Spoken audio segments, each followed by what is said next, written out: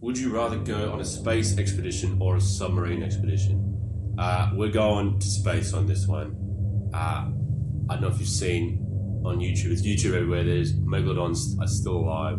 They're definitely still down in the deep, dark depths of the ocean because they're killing great whites. There's great whites dying. There's someone eating them, and they've got to be megalodons. So we're going to space.